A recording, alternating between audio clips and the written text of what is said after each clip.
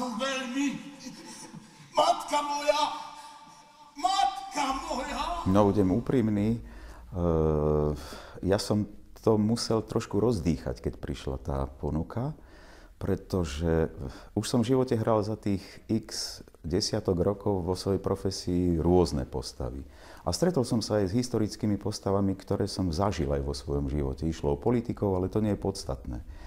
Ale pre mňa bolo najdôležitejšie to vyrovnať sa s fenoménom svetosti. Ako zahrať svetého človeka, ktorý v podstate mal nesmierne veľký dosah pre ľudí, ovplyvnil dejiny e, a tú svoju srdečnosť, ten svoj úsmev, tú nekonečnú empatiu, ktorú v sebe niesol, e, obsiahnuť e, v tej, v tej mojej kratučkej, možno dvoj, dve a pol, trojhodinovej interpretácii, to bol pre mňa teda naozaj zavezujúci ťažký oriešok v tom sám, v mene spásy, svetu sa. Povedal som si, mám nejaké svoje osobné korene viery v sebe, mám akúsi e, fundamentálnu kresťanskú výchovu od mojich rodičov, e, mám otca, ktorý v podstate možno mal byť kde si pri svojom životnom rozhodnutí v istom okamihu aj misionárom, ale nakoniec sa ním nestal. Prišli 50. roky, etc., etc., boli rôzne administratívne zmeny v spoločnosti minulého storočia. Napokon som sa narodil ja, tak si vravím, e, je tu rodinné zázemie, ktoré pozná vlastne všetky tieto úskala, úskalia, ale aj radosti viery. E, a poslanie vlastne každého človeka, ktorý tú vieru možno má v tej svojej rodine posúvať svojim deťom, a ísť v tom ďalej. Poslanie stále službou pre vás, byť svetlom nádej, spája sa v nás. A nádej vieru lásku Ja som si tie pucle vlastne toho jeho významného poslania musel najprv racionálne poskladať a potom som sa snažil sa mu pozerať možno cez jeho oči, do jeho vnútra. A našiel som si jeden krásny obrázok, keď už bol už v pokročilom veku, e, myslím, že to bola posledná návšteva na Slovensku, keď bol hore na Slieskom dome a keďže som Tatranec, ja poznám ten pohľad, tak som si cez tú fotografiu svätého Otca snažil nejakým spôsobom nájsť ten pohľad do jeho duše. Nájsť, pochopiť tú jeho obrovskú zodpovednosť, ten jeho obrovský kríž, ktorý zo sebou niesol, preniesť vlastne kresťanstvo eh, z druhého do tretieho milénia. Aby som si vždy pripomínal, že som len druhý v poradí. Prvý je Kristus. A že som tu pre druhý. Ďalšia otázka? Prosím. Môžeme očakávať nejaké zmeny? Napríklad v tradícii, ktorá dnes pôsobí trochu smiešne a archaicky. Nemáte na mysli napríklad toto? Tieto malé, krehké topánky prejdú so mnou celý svet, sú pre mňa veľmi dôležité. Teda ak Boh dá a lietadlá budú fungovať.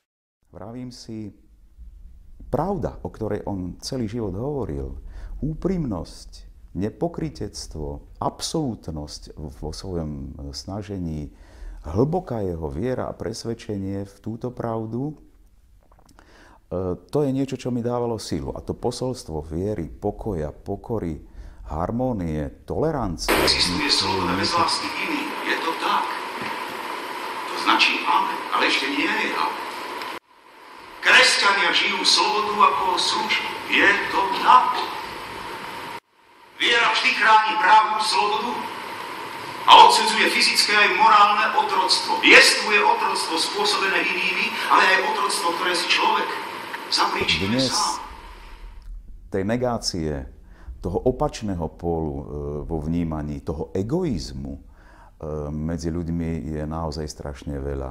A Jan Pavel II bol pre mňa práve reprezentantom toho pozitívneho, krásneho. Časť z toho sme sa snažili v našej inscenácii obsiahnuť a keďže som v epicentre toho diania, po prvých tých reakciách divákov mám pocit, že sa nám to v istom zmysle, dúfam, verím, podarilo. Silný moment je pre mňa ten, ako príjma napríklad svoju bolesť, ako príjma svoje utrpenie, ako sa rozhodol v istom okamihu neskrývať svoj, dajme tomu, fyzický handicap.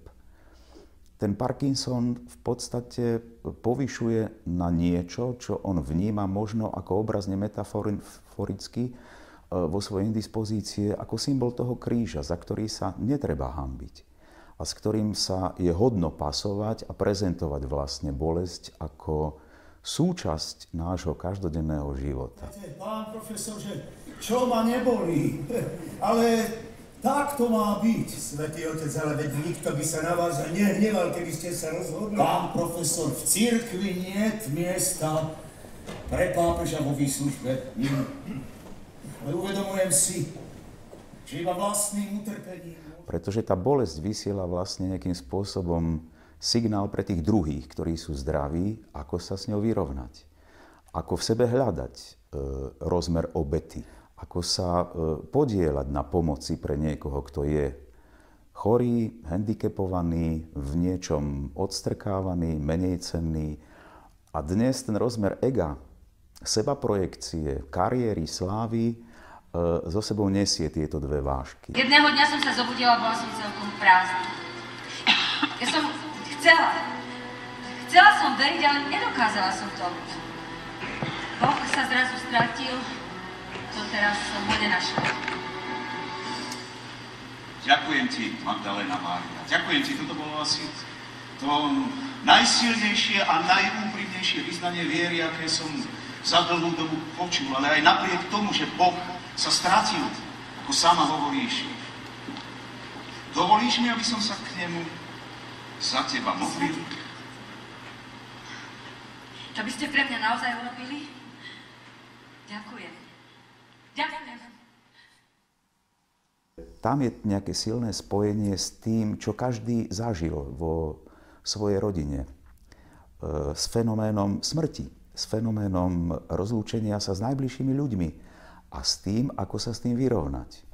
A to sú podľa mňa kde si aj korene viery, korene toho, prečo sme tu a prečo bojujeme s prítomnosťou, vyrovnávame sa s pozemským životom, aby sme si e, v tej väčšnosti niečo zmysluplné a dôstojné zaslúžili. naše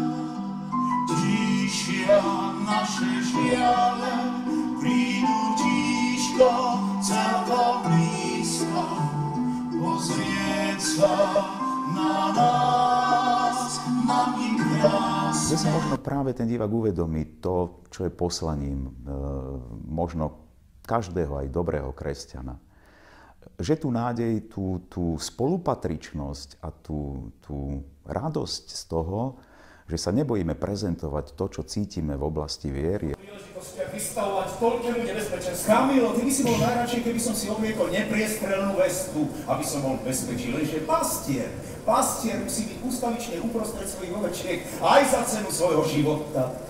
Nemôžete ma zatvoriť do pancierového trezora len preto, že niekoľko čiernych oviec číhá môj život. Čo aj Jan Pavel II hovorí, že bol by som rád, keby ma vnímali ako, ako pápeža rodiny že ten jeho mm, jeden z prehovorov, ktorý zaznie v našej inscenácii, je, je veľmi dôležitý odkaz aj pre dnešok, lebo rodina spája a odovzdáva hodnoty, tradície ako ďalším generáciám a vytvára puto spolupatričnosti, otvorenosti.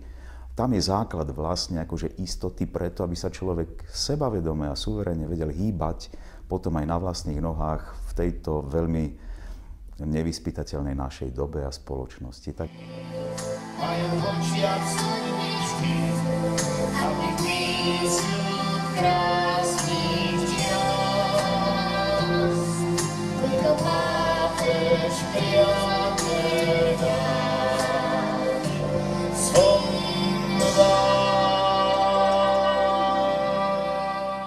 Takže vám prajem všetkým priateľom, všetkým vnútorne nastaveným ľuďom na, e, na tú zdravú, poctivú, zmysluplnú vieru, kresťanskú vieru, pekné, požehnané Vianočné sviatky.